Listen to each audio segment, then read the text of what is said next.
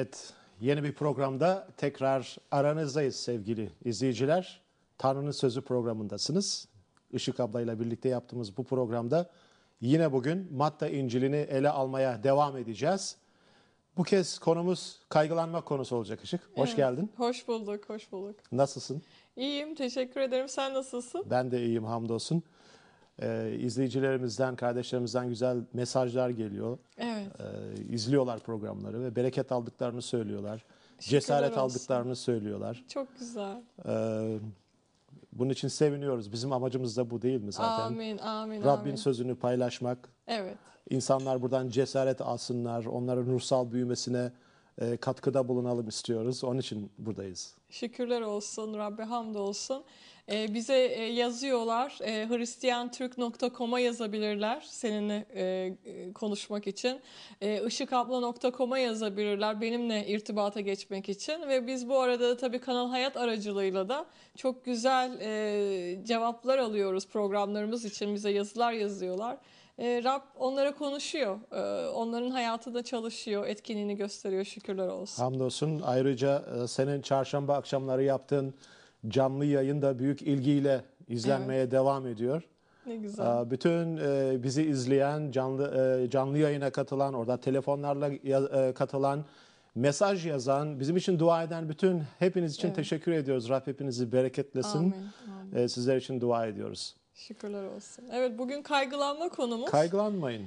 Kaygılanmayın diyor ayet. Ben e, tabii bu benim hayatımla ilgili e, çok önemli bir konu Memduh. Ben herhalde e, en yüksek derece ne oluyor üniversitede? Yani doçent, ondan sonra profesör, Ordinarius, ordinarius. yani. Benim herhalde kaygılanma üzerine ordi- ordinariusluğum vardı. Ben e, imana geldikten sonra o ordinariusluğu geri verdim. Çok mu kaygılanıyordun? Çok kaygılanıyordum. Acaba böyle olursa, acaba şöyle olursa. Eminim ekranları başında da eğer böyle olursa, eğerle yaşayan bir sürü kişi var. O yüzden bakalım ayetler ne diyor? Ben e, Matta 6 25. ayetten başlayarak okuyorum. Bu nedenle size şunu söylüyorum. Ne yiyip ne içeceğiz diye canınız için, ne giyeceğiz diye bedeniniz için kaygılanmayın. Can yiyecekten, beden de giyecekten daha önemli değil mi? Gökte uçan kuşlara bakın. Ne eker ne biçer ne de ambarlarda yiyecek biriktirirler. Göksel babanız yine de onları doyurur. Siz onlardan çok daha değerli değil misiniz? Hangi biriniz kaygılanmakla ömrünü bir anlık uzatabilir? Giyecek konusuna neden kaygılanıyorsunuz? Kır zambaklarının nasıl büyüdüğüne bakın. Ne çalışırlar ne de iplik eğirirler. Ama size şunu söyleyeyim. Bütün görkemine karşın Süleyman bile bunlardan biri gibi giyinmiş değildi. Bugün var olup yarın ocağa atılacak olan kır otunu böyle giydiren Tanrı'nın sizi de giydireceği çok daha kesin değil mi? Ey kıt imanlılar! Öyleyse ne yiyeceğiz, ne içeceğiz ya da ne giyeceğiz diye kaygılanmayın. Uluslar hep bu şeylerin peşinden giderler. Oysa göksel babanız bütün bunlara gereksinmeniz olduğunu bilir. Siz öncelikle onun egemenliğinin ve doğruluğunun ardından gidin. O zaman size bütün bunlar da verilecektir. O halde yarın için kaygılanmayın. Yarının kaygısı yarın olsun. Her günün derdi kendine yeter. Amin. Amin. Yarın için kaygılanmayın. Evet. Söylemesi kolay. Yapması zor. Evet, nasıl e, insanların e, kaygısından onları kurtaracağız? Ya da insan nasıl Evet. özgür olabilir kaygıdan? Ben iman diyorum. Çünkü biz Tanrı'ya güvenimizi koyduğumuz zaman imanın bir parçası Tanrı'ya güvenimizi koymak. En büyük özelliklerinden birisi. Eğer ona güvenirsek, dersek ki onunla dostluğumuz var. O bize sahip çıkacak. Bilirsek Tanrı'nın kim olduğunu, bizim değerimizi onun gözünde, o zaman bu kadar kaygılanmayız diye düşünüyorum. Çünkü deriz ki o bize bakar. Aynı ayette dediği gibi. Eğer kırlardaki çiçekleri giydiriyorsa, kuşları besliyorsa ben Tanrı için daha ne kadar çok önemliyim veya değerliyim. Tabii ki bana bakacaktır. İşte bu iman. Yapacaktır. Tanrım yapar. Amin. İlkin Rabbin sözlerinin yani vermiş olduğu vaatlerin benim için geçerli olduğunu kabul etmemiz gerekir. Evet. Rab vaat ediyor. Seni asla terk etmem, seni asla boşa çıkarmam. Amin. Amin. Yürüyeceğin bütün yolda seninle beraberim. Bunu bir kameraya bakarak seyircilerimize söyler misin anlasınlar? Evet. Rab diyor ki seni asla boşa çıkarmam. Asla Evet. terk etmem. Seninle beraberim diyor. Yani ateşten geçsem bile ateş seni yakmayacak. Suların içerisinden geçsem bile sular senin üzerinden geçmeyecek. Yani seni koruyacağım. Sana vaat ettim, seni sana söz verdim. Seninleyim, seni asla bırakmayacağım. Böyle diyen bir Rab, Evet. evrenin yaratıcısı, bizim sahibimiz bize sahip çıkarken biz hala kaygı çekip üzülüyoruz. Rabbin bereketlerinden uzak kalıyoruz. Evet, vesvese. Bir de vesvese var. Yani kaygının e, bir parçası aslında. E, eş anlamlısı vesvese. Sürekli ya böyle olursa, ya şöyle olursa, ya çocuğum sokağa gittiğinde e, araba çarparsa, ya araba kullandığında kaza geçirirse, yarın korkusu, yarın kaygı, kaygısı. Çocuklarımı nasıl okutacağım, nasıl bakacağım, nasıl evlendireceğim, nasıl üstüme başıma şunu alacağım ne kadar çok iblis üzerimize oklar atıyor böyle. Kulağımıza konuşuyor. Bu böyle olacak. diye. Şimdi İsa Mesih diyor ki bütün milletler bunları yaparlar diyor. Bütün millet. Bütün milletler. Evet. Ama İsrail oğullarına hitap ederek konuşuyor. Evet. İsrail Rabbin seçtiği bir halk. Diğer uluslar o döneme kadar Tanrı'yı tanımayan, putperest, tanrısız, kendi inançlarına, kendi putlarına göre yaşayan insanlardı. Onlar kaygılanıyorlardı sürekli ne yiyeceğiz, ne içeceğiz diye. Ama İsa diyor ki göksel babanız sizin neye ihtiyacınız olduğunu biliyor. Kaygılanmayın. Ya. Biliyor. Bugün Rabbin bereketleri ona iman eden çocuklarınadır. Kilisesinedir. Yeniden doğuşluysan, İsa Mesih'in bir çocuğuysan, gerçek anlamda İsa'nın bir izleyicisiysen şunu hiç unutma ki senin babandan sana gelen bir yetkin var. Onun hazinesine ortaksın. Onun vaatlerine ortaksın. Onun imzasıyla, İsa'nın adıyla alamayacağın bir şey yoktur. Benim adımla isteyin, size ver- vereceğim Evet. dedi İsa. Ne güzel. Değil mi? Ee, kaygılanmakla da yani ne, ne yiyeceğiz, ne yapacağız diye kaygılanmak imansızlığımızı gösteriyor. Oysa Rab bize dedi ki hardal tanesi kadar imanınız olursa şu dağa söyleyin, buradan söyleyin demek bizim engel gördüğümüz, sorun gördüğümüz, hastalık, eksiklik, kıtlık. Yani bize kaygı veren neyse. Parasal eksiklik mi, sağlık eksikliği mi, çocuklarımızın geleceği midir, evsizlik midir, her neyse bize o kaygıyı veren şey o kaygıya biz direkt hitap edebiliriz Rabbin sözüyle. Emredebiliriz o dağın kalkması için. Amin. Çünkü Rab bize bu yetkiyi vermiştir. Birçok Hristiyan kardeşlerimizin, İsa Mesih inanlı kardeşlerin bundan haberi yok. Dua ediyorlar ve sürekli istiyorlar ki Rab lütfen yardım et. Rab'den istemek güzel bir şey ama aynı zamanda bizim de yetkimizi kullanarak o probleme konuşmamız gerekir. Amin. İsa diyor ki kim bu dağa derse ki kalk git. Evet. Demek ki bizim ağzımızdan o probleme, o dağ gibi gördüğümüz soruna konuşmamız gerekir. Çok doğru. Ne kadar probleminize konuşuyorsunuz? Evet. Kovabiliriz o pro- problemi. Çünkü Tanrı bize yetki veriyor değil mi Memdu? Hatta kaygımızı dahi kovabiliriz. Bazen e, kaygı hepimize gelen bir şey. Hepimiz insanız. Bu demek değil ki işte sen kaygılanmıyorsun, çok imanın var.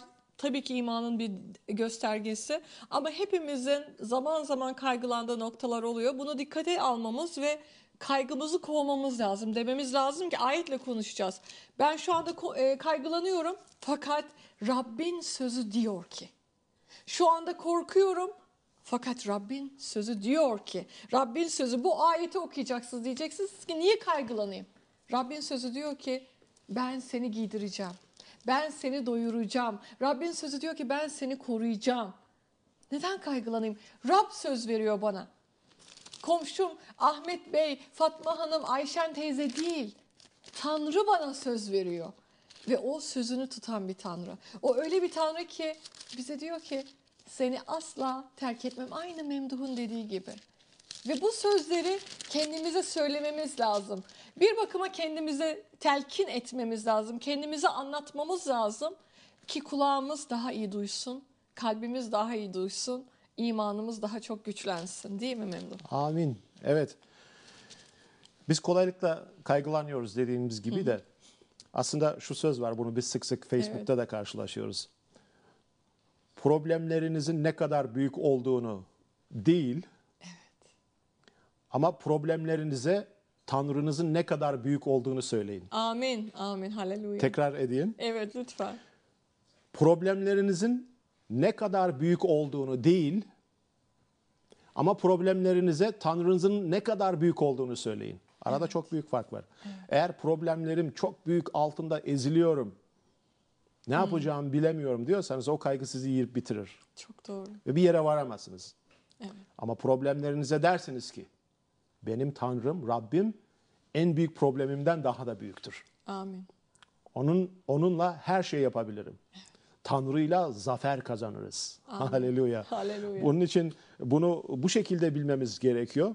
Biz Rabbin vaatleriyle, Rabbin sözüyle problemlerin üzerine gidebiliriz. Nasıl İsa Mesih e, çölde şeytan tarafından denendiği vakit Rabbin sözüyle karşılık verdi ve zafer elde etti. Ne güzel. Biz de her türlü yokluk, eksiklik, sorun, sağlık konusunda olsun, ruhsal saldırı olsun, Rabbin sözlerini ilan ederek, o sözlere e, sarılarak e, ruhsal bereketleri isteyebiliriz hayatımızda. Çok doğru.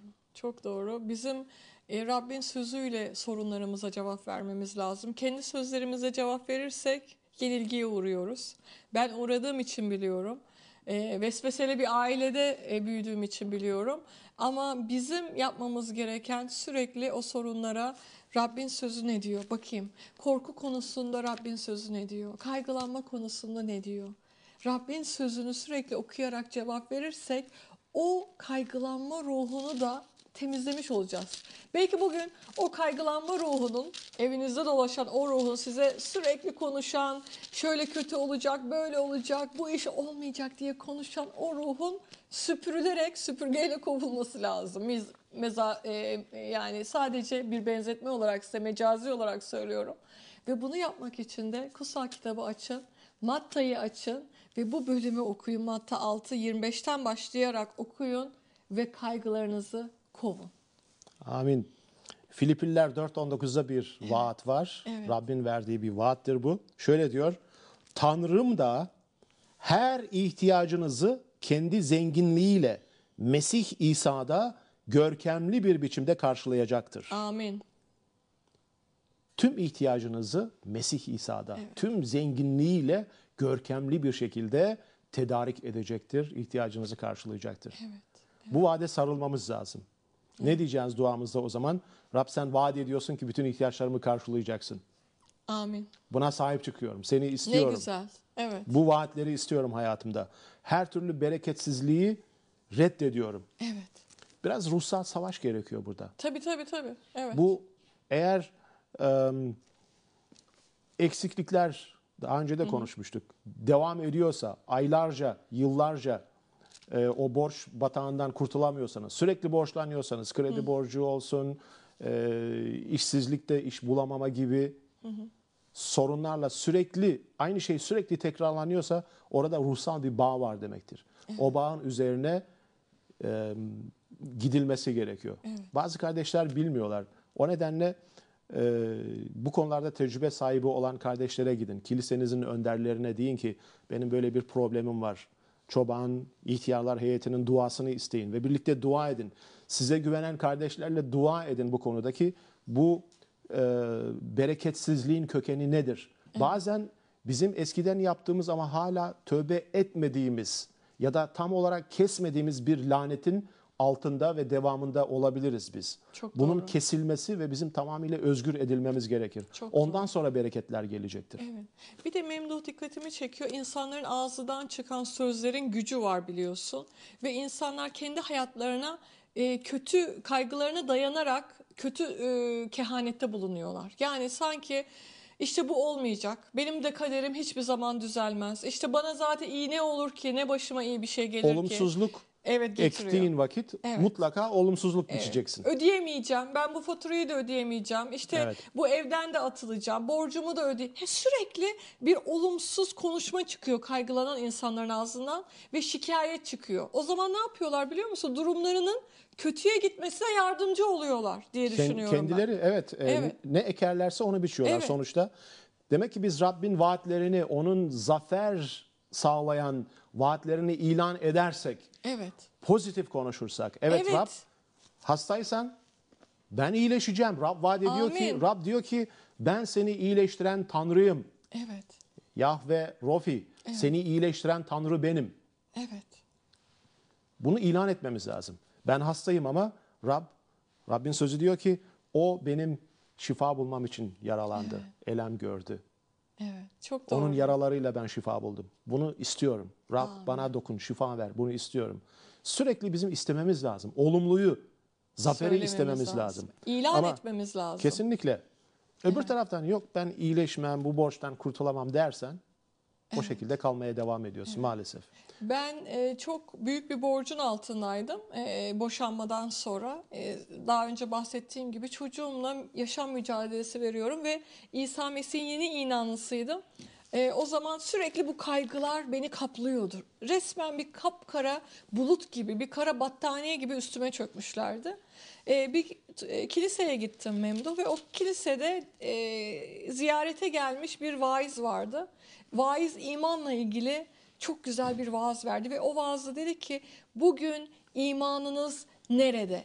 İmanınız hayatınızın hiçbir zaman değişmeyeceğinde mi? İmanınız sürekli hayatınızın kötüye gideceğinde mi? Eğer öyleyse kötüye gidecek çünkü sizin imanınız orada.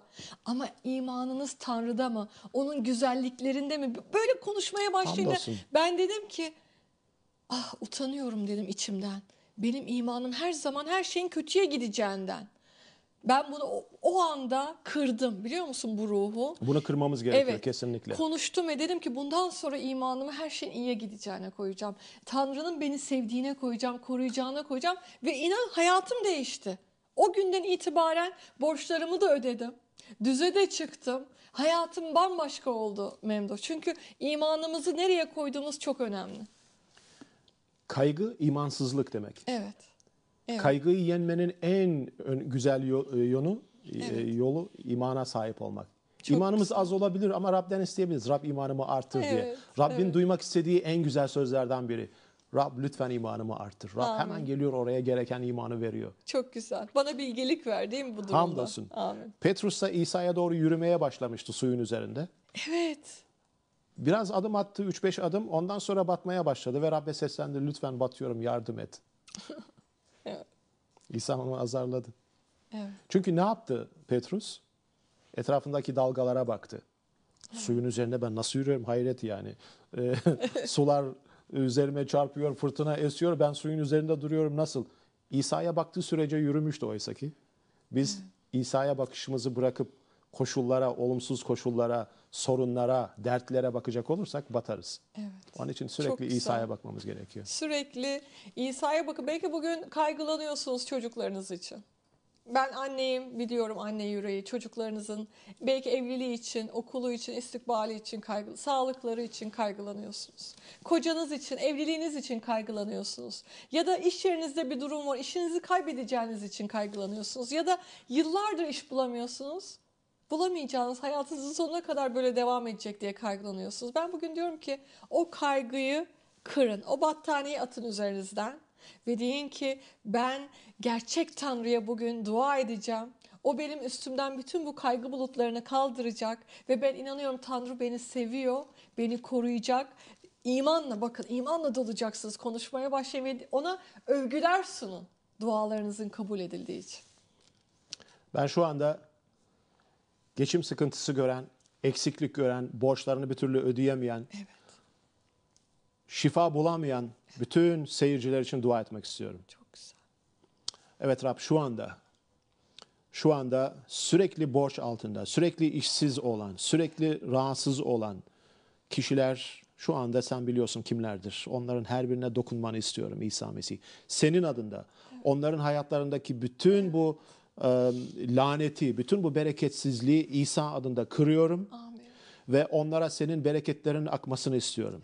Rab göksel bereketlerini vaat ettiğin gibi onların her birinin üzerine boşalt şu anda. Dök üzerlerine Rab. Özgür et. Bir an önce Rab yarın yeni bir başlangıç olsun hayatlarında. Cesaretle, güvenle gidip senin onlar için belirlediğin işleri bulabilsinler. Bir an önce Rab bu borç bataklarından kurtulmalarını onlara sağla diye dua ediyorum. Bir an önce bedenlerine şu an dokun ve şifa ver İsa Mesih adında. Eksikliklerini tamamla, onları artıya, onları e, bolluğa çıkar diye dua ediyoruz. İsa Mesih adında. Amin, amin. Ne güzel, ne güzel. Benim aklıma bu duayı ederken Murat geldi biliyor musun? Dün Paltak'taki konuşan kardeşimiz. Evet. Ve onun da bu, bu duaları alması için içimden dua Diyarbakır'dan etti. katılan o genç. Diyarbakır'dan e, katılan. Bu arada da seyircilerimizi Paltak'a katılmaya davet ediyorum. Çok güzel bir topluluk. E, Rab daha çok bereketlesin katılanları da. Amin. Amin. Şimdi bu kaygılanmayla ilgili bizim sarılacağımız vaat sözü bir kez daha söylemek istiyorum. Ayet 33. ayet. Matta 6 33. İsa diyor ki siz öncelikle onun egemenliğinin Tanrı'nın egemenliğinin ve onun doğruluğunun ardından gidin. Tanrı'nın egemenliğini arayın ve onun doğruluğunu arayın her yaptığınız şeyde. O zaman bütün bunlar ne yiyeceğiz, ne içeceğiz gibi tüm kaygılarınız ortadan kalkacak. Rab size ihtiyaçlarınızı fazlasıyla verecektir. Evet, bütün bunlar da size artılak verilecektir. O halde yarın için kaygı çekmeyin. Yarının kaygısı e, yarına aittir. Yarın olsun bugünün derdi kendisine yeter. Çok doğru, çok doğru. Ben ama kaygılanabileceğimiz bir şey söylemek istiyorum. Kaygılanmamız gereken birkaç şey var biliyor musun? Tanrı'yı hoşnut etmemekten kaygılanmalıyız. Bir de e, yakınlarımız, iman Evet. etmemiş olan kardeşlerimiz Onlar için kaygılanmalıyız değil mi? Evet. Aynı zamanda kendi yürüyüşümüzün, Tanrı yolunda yürüyüşümüzün yanlış olmasından, doğru olmamasından kaygılanmalıyız. Yani e, ruhani dünyamızla ilgili eğer kaygılanacaksak maddi dünyadan değil, ruhani dünyamızla ilgili bazı kaygılarımız, önemli olan unsurların olması lazım hayatımızda. Evet. Bence e, kaygıdan çok kendimizi zaman sık sık test etmeliyiz. Evet. Yürüyüşüm, Analiz etmeliyiz değil mi? yürüyüşüm Rabbe e, yaraşıyor mu? Evet. Hayatım İsa'nın İncil'ine yakışıyor mu? Evet. Sözlerim, oturuşum, kalkışım, davranışlarım, attığım adımlar, aldığım kararlar Rabbi yüceltiyor mu? Yoksa benlikten mi, benliğin yüceltilmesi için midir? Bunları sık sık test etmemiz gerekiyor. Amin. Çok güzel. Devam edelim. Yedinci bölüme gelmiş olduk ve orada e, ilk 12 ayeti okuyacağız. Evet. E, bu konu üzerinde fazla e, yorum zamanı kalmayacak ama en azından e, bu ayetleri bir okuyalım. Peki. Başkasını yargılamayın ki siz de yargılanmayasınız. Çünkü nasıl yargılarsanız öyle yargılanacaksınız. Hangi ölçekle verirseniz aynı ölçekle alacaksınız. Sen neden kardeşinin gözündeki çöpü görürsün de kendi gözündeki merteği fark etmezsin? Kendi gözündeki çöpü çıkarayım dersin. Ee, kendi gözündeki mertek varken kardeşine nasıl izin ver gözündeki çöpü çıkarayım dersin? Seni iki yüzlü. Önce kendi gözündeki merteği çıkar. Çok doğru. O zaman kardeşinin gözündeki çöpü çıkarmak için daha iyi görürsün. Kutsal olanı köpeklere vermeyin. İncilerinizi domuzların önüne atmayın. Yoksa bunları ayaklarıyla çiğnedikten sonra dönüp sizi parçalayabilirler. Evet. Çok yaptığımız bir şey değil mi bu? Yargılamak, kritize etmek, başkalarının kusurlarını bulmak. Sanki e, pek çoğumuzda, toplumumuzda görüyorum. Böyle bir makine var içimizde çalışan. Birisini böyle gördüğümüz, tanıştığımız anda böyle dik dik dik dik dik dik dik dik bütün harekete geçiyor. Eksikler, artılar, ne eksik karşımızdakinin var. Böyle bir bilanço çıkarıyoruz Memduh. Neden acaba böyle? Kendimizi onlardan daha üstün görüyoruz. Daha mükemmel Kibirden görüyoruz. kaynaklanıyor. Kibir. Tabii. Yani ben e, daha okumuşum, daha çok diplomam var, daha çok kültürlüyüm ya da ben İstanbulluyum, bu köyden gelmiş Evet. gibi. Tabii, yani tabii. ya da ben şu halka aitim, o falanca halktan ait. E, insanları insanlar arasında ayrım yaptığımız için biz e, bütün bu şeyler oluyor aslında. Evet. Ben e, mesela anneannem öyledir. Derdi ki eskiden biz yedi göbek İstanbulluyuz. Benim babam da Anadolu çocuğu. Onun yanında böyle övünürlerdi. E, tabii biz iki arada bunun ne kadar yaralayıcı olduğunu gördük. Fakat e, insanları Tanrı ayırt etmiyor. Hepimiz onun için eş değerdeyiz. Ee, Anadolu'nun bir köyündeki, bir kasabasındaki bir çiftçiyle, bir köylü çocuğuyla İstanbul'un en iyi yalısında oturanın arasında doktor olsun, en üst düzeyde yönetici olsun hiçbir fark yok Tanrı'nın gözünde değil mi? Evet, her birimizin buradan birçok şeyler öğrenmesi gerekiyor sevgili e, izleyiciler. Her birimizin sorunları, her birimizin sıkıntıları var. Rabbin önüne gelip bütün bu kötü alışkanlıklarımızı terk etmemiz gerekiyor. Bazen kötü alışkanlıkları kolay kolay terk edemiyoruz ama Rabbin eline vermemiz gerekiyor.